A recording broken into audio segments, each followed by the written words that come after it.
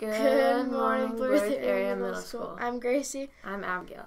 Today is Thursday, October 13th. Today is an A day. Lunch menu popcorn chicken with whole grain dinner roll or sloppy joe on a bun, steamed corn, fresh apple, fresh vegetables, fruit choice, and milk.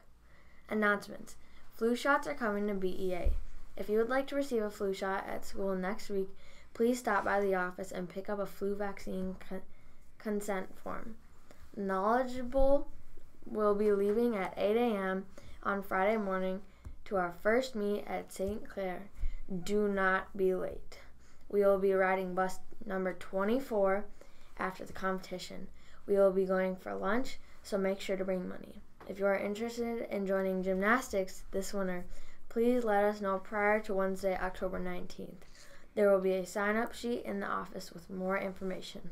Hey, middle schoolers, your teacher are here to help you have a successful school year. There will be a homework help room offered every day except Wednesday after school from 3 to 3:45. This is a great opportunity to ask questions, get help, and complete homework before heading home.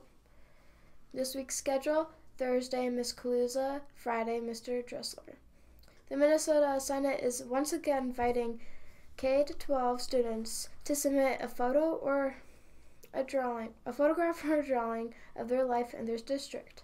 One entry will be chosen per district to hang in the Minnesota Senate building for the following calendar year. You can email or mail your entry when completed. If you are interested, come to the office to receive an information packet.